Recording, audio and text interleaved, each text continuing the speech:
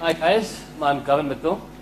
Uh, now I'm here to talk about how to build some phenomenal, great mobile first products.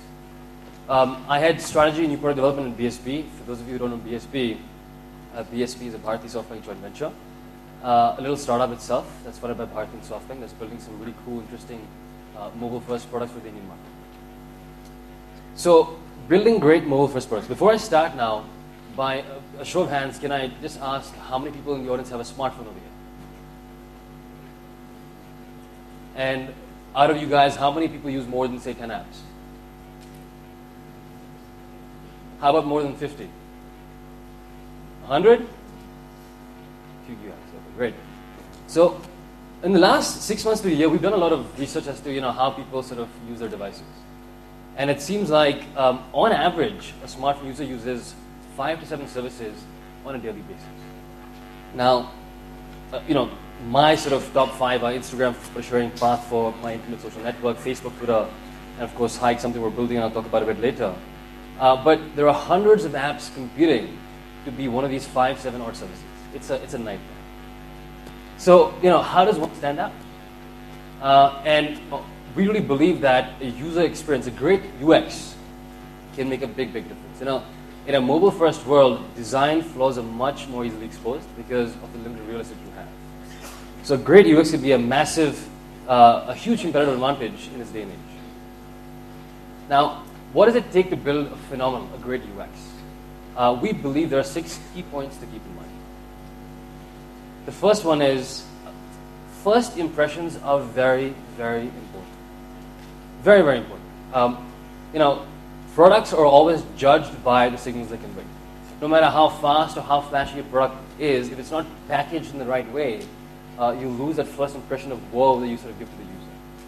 Uh, in other words, people do judge a book by its cover. It's true. And the qual- like I said, the quality of your product will not matter if you present it in a very slipshod way. Um, I would love to take an example of Hike, something we're building at, at BSB, Fun Free Messaging for Life. Um, it's, a, it's a messaging application. The biggest difference between Hike and other apps is that you can also message friends who are not on Hike. Um, if I have Hike and say you have Hike, I can message you for free. But if I have Hike and say you don't have Hike, you can still message your friends for free. And you can reply back to it, and the, and the message comes right in the inbox, making messaging very, very seamless. Now, the one thing we did with Hike was how do we build a phenomenal emotional experience? Right from the icon on the home screen um, to the starting page of the app itself. It is a very clean, subtle, very beautiful interface. This is very, very important. We really feel that first impressions make a massive, massive difference. Number two, focus, focus, and focus. A lot of apps you see nowadays play um, a features game. They keep adding features in their applications. We think that's the wrong way to go. It is very important to figure out what your atomic unit is. The one thing that is the most valuable action in the application, the one thing that your app is meant to do. Uh, the one most desired action in the app. Now, for the services like Twitter, Instagram, Foursquare, and Dropbox, it's a tweet. Uh, it's a photo. Uh, the, the, reason why, why Instagram got bought you know, for a billion dollars is because there are 100 million people sharing photos every day. For Foursquare, it's a check-in, and for a service like Dropbox, it's a file. You know, you have to focus on simplifying and optimizing this action. It is so important. Uh, think of it as helping a user traverse between two points. How do you get the user from you know point A to point B very easily and very fast? The easier it is for, for a user to get to, from point A to point, point B, the more satisfied the user will be and the more activity you have in the application. The atomic unit is by far the most valuable action in your application. Very, very. In Hike, um, our atomic unit is sending a personal message.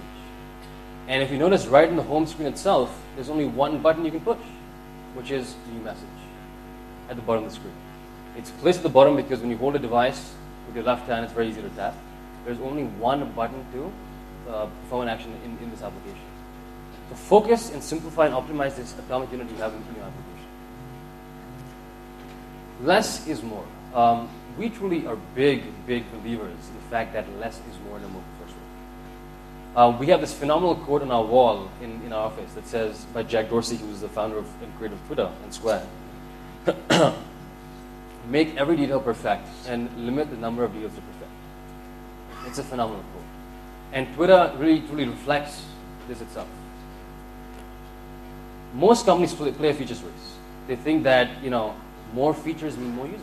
If I add 10 different features, I'll get you know hundreds of millions of users. Now, that might be true for downloads. Um, but if you're trying to be one of those five to seven services that are uh, going to be used by a person every day, uh, that is not true. It is just not true. Extra features dilute the experience, they distract from what the problem you're trying to solve. Um, extra features, like I said, might lead to more downloads, but they distract from the actual active user experience of the application. Uh, this is what most people end up doing. You know, you're trying to get a user from point A to point B, but there is this massive hump in the middle where you give them five different options because you don't know what's best for the user. We really feel that if you're trying to solve a problem for a user, you have to figure out the best way possible for the user to get from point A to point B. Um, never give options. Uh, we have this saying in, in, in, at BSB and at Hike that fail often, fail fast, fail cheap. It's better to take one of these roads, try it out as fast as possible, fail as fast as possible, know it doesn't work, and then move on to path number B or C. Very, very important. Mobile devices have very, very limited real estate, especially in a country like India, where the Android devices that people are shipping are having very small screens. Um, apps are meant to do one thing at a time. Uh, that's the purpose of an application. If you look at how uh, the native apps are built on Android, iPhone, Windows 7, um, the phone app does only calling, the messaging app does only messaging, and so on and so forth. Um, get out of the way of the user and help knock off all the obstacles in the way from point, point B to point A. Just get out of the way. Let the user do what he needs to do. This is what it should look like on the iPhone. It's very subtle, very simple. This is, this is a very, very important point. Very important point. You know, we, we launched Hike in beta um, about a month and a half ago. And we're, we've seen some massive traction. We're seeing our, our messaging traffic grow about 30% a week. It's phenomenal. And what we've realized is that emotions drive actions. Emotions drive actions, and logic then further reasons these actions. It's very, very important to understand this, and it's very important that you build an internet, in, intimate connection with consumers first. One of the best companies in the world that does this really well is Apple. Uh, if you look at the iPhone, if you look at the latest ad from Samsung and iPhone comparing both those phones, Samsung has a lot more features than Apple.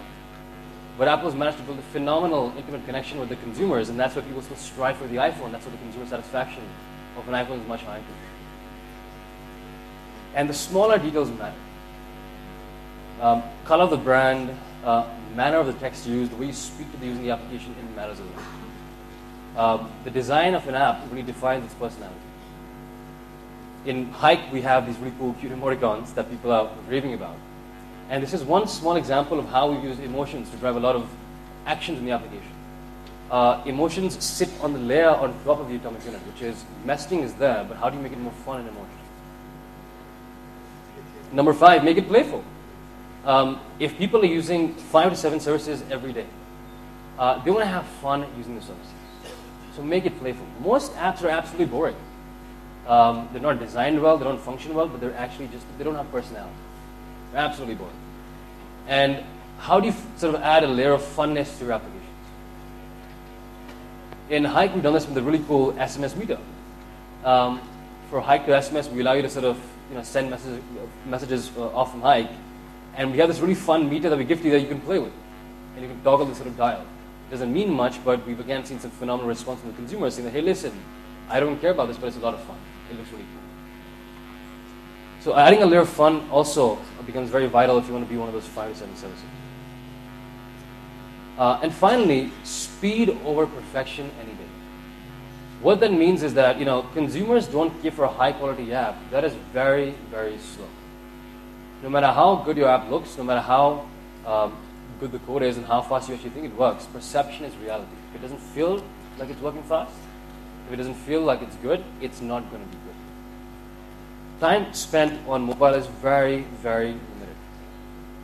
Uh, users want to get in and out as fast as possible. We've gone away from having half an hour to spend on a PC, where you'll browse Facebook and do a lot of other stuff, to a mobile device where you have five, ten minutes here and now, where you want to just jump in and jump out. performance always comes first. Um, some of the apps that embody these six sort of principles of design or, or building an emotional, fun user experience are Twitter, Path, Instagram, and Flipboard. Flipboard's done a phenomenal job of really revolutionizing how you view uh, news articles uh, on a mobile device. And for them, the atomic unit is an article, and they do a phenomenal job of getting you from point A to point B, B being the article in a very simple, easy manner. Um, Hike is another example of this. We're launching Hike next month on Windows 7, iPhone, and so on and so forth. And Hike does a phenomenal job of building a very emotional consumer experience that really captures the sort of imaginative uh, ignition of the user. So the six points are, you know, first impressions are very important. Uh, focus, focus, focus. And less is more.